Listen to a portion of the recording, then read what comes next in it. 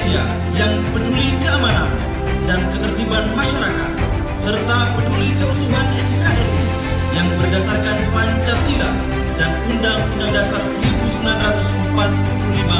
berikrar. Satu, mendukung tugas-tugas TNI Polri dalam rangka menjaga keutuhan NKRI dan menjaga keamanan ketertiban masyarakat yang kondusif. Dua, mendukung tugas-tugas TNI Polri dalam memberantas hoax dan ujaran kebencian. Tiga, mendukung tugas-tugas TNI Polri dalam mensukseskan pemilu 2019 yang aman.